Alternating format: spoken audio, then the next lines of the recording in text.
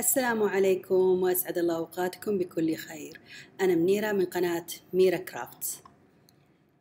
طبعا قبل ما نبدأ نسوي المربى دايما لازم نغسل الزجاجات بالصابون ثم نضعها في ماء فاتر وبعدها على الفرن حتى يغلي الماء لمدة عشرين دقيقة.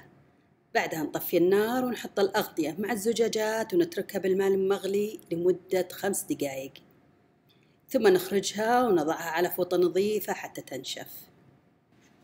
إذا تحبون مربى الخوخ وتبون تجربون طرق جديدة فإن مربى الخوخ بالهلابينو والهبانيرو روعة مرة ولذيذ. وله عدة استخدامات ممكن تحطونه على قطعة خبز محمص مع جبن كريمي أو بجانب المشاوي مثل بعض المطاعم العالمية أو تدهنون فيها ستيك أو تدهنون فيها الهمبرجر قبل ما تحطون شريحة اللحم. ومكوناته قليلة ومدة عمله قليلة. تقدرون تستخدمون الخوخ الطازج أو المفرزن وإذا بغيتوه حار مرة حطوا حبتين من فلفل الهابانيرو والهالبينو أما إذا بغيتوه أقل حرارة حطوا على حبة من كل نوع.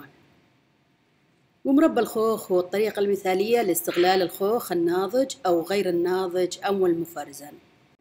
والأفضل عند تقطيع الفلفل تستخدمون قفازات علشان الحرارة. وأفضل في عمل المربى استخدام الليمون المعلب لأنه حموضته متساوية بعكس الليمون الطازج حبة حامضة وحبة لا. وأضيف الليمون للمربى لأنه يعطي حموضة وكذلك يحتوي على مادة البكتين. والبكتين هو عامل تخثر أو مادة هلامية يوجد بشكل طبيعي في الفواكه مثل الحمضيات. وهو الذي يساعد المربيات على التكاثف أو الوصول للقوام المناسب. وتحتوي بعض أنواع الفاكهة الحامضة على البكتين مثل التوت والتفاح والحمضيات. في حين تحتوي الفاكهة الحلوة على كميات أقل منه. وهذه المكونات كفت زجاجتين من المربى. وأفضل دائما أعمل كميات قليلة حتى أجرب أنواع أخرى من الفاكهة أو أمزج وأخلط أنواع غيرها. وإذا بغيتوا مقدار أكثر ضعفوا الكمية. وممكن استهلاكه على طول أو الاحتفاظ فيه لمدة سنة. وعند طبخ المربى الأفضل استخدام قدر من الحديد الثقيل أو stainless steel بقاعدة ثقيلة حتى لا يحترق المربى بسبب الحرارة العالية. والأفضل كذلك يكون كبير حتى إذا تكاثف المربى ما يطلع خارج القدر. نضع المكونات على النار العالية 220 درجة فهرنهايت ونستمر بالتحريك لمدة 20 دقيقة أو أكثر. حتى يثقل المربى وبعدها نوطي على النار ونستمر بالتحريك. أحب أضيف قطعة من الزبدة لأنها تساعد إنه ما يطلع رغوة على وجه المربى. إذا ما تبون تقدرون تستغنون عنها لكن تشيلوا الرغوة الموجودة فوق سطح المربى بملعقة مع أنها ما راح تأثر على الطعام. وبالبداية نسلق الخوخ ونعمل أسفل الخوخة إكس بسكين حادة حتى يسهل علينا تقشيرها. ثم نضعه في قدر كبير فيه ماء مغلي ونتركه مدة دقيقة تقريبا. وبعدها نخرجه ونضعه في وعاء به ماء مثلج لمدة دقيقة ثم يخرج وتزال القشور بسهولة.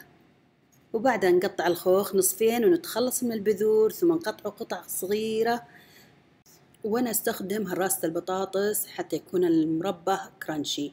لكن إذا بغيتوا المربى ناعم تقدرون تستخدمون الخلاط الكهربائي.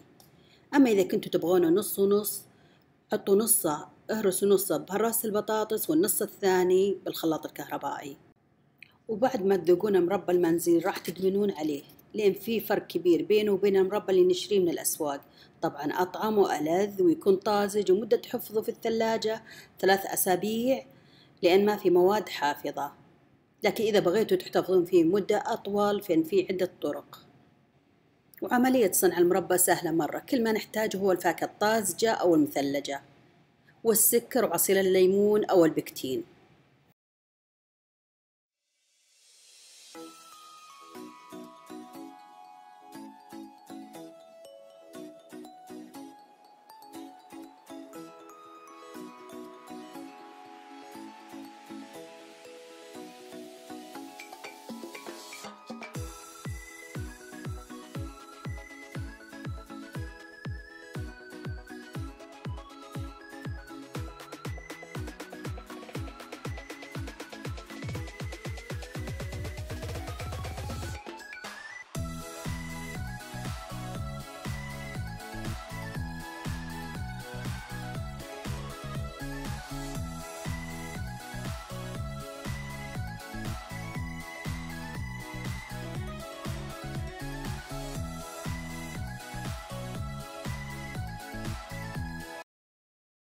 وفي عدة طرق لاختبار نضج المربى.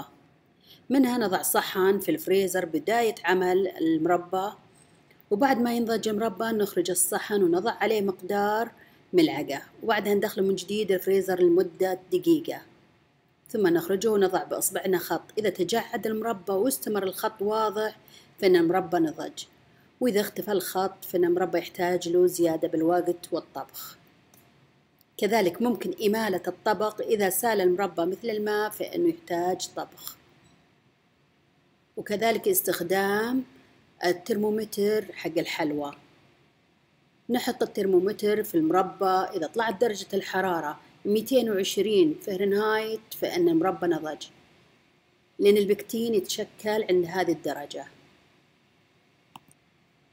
وبعد نضج المربى نضعها في الزجاجات المعقمة ونغلقها ثم نضعها في ماء حتى يغطيها تماما بمقدار إنش. ونغليها مدة 15 دقيقة حتى تتعقم وتصبح صالحة لمدة سنة.